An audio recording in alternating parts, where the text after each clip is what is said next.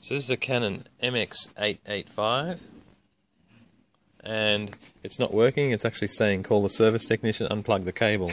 Now I've unplugged the cable. I've, the quick way to fix it is to take the cartridges out that are in there. Take the cartridges out. And, and I figured the only way to fix this printer now is to close the lid, close this up, press this on button here, pick the thing up.